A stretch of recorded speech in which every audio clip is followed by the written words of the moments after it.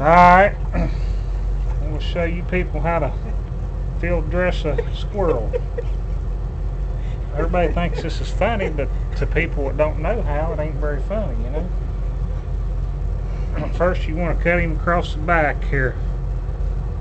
But you really you need a sharp knife. Here. This is my assistant.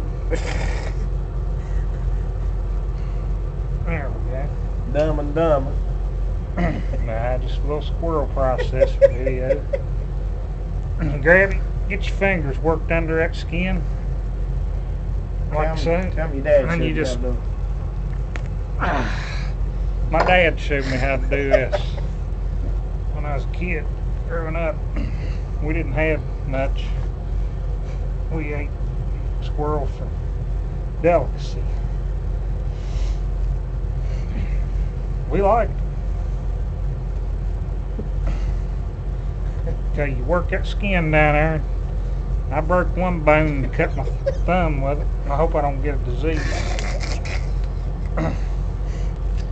Just cut his leg off like that.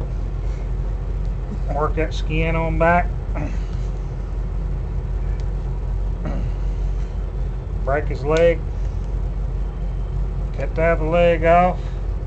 If you want to save his tail, pull it down there about that far. Take your finger now and your other finger, wrap around that tail, squeeze, and pull down on it. And that pulls the tail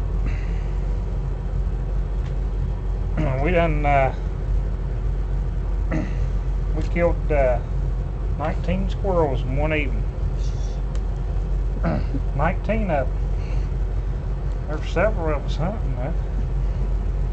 And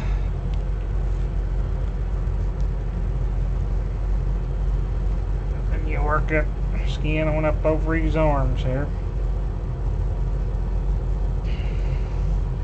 Break that leg. Pedal off. Work this one up over his shoulder. Break that leg.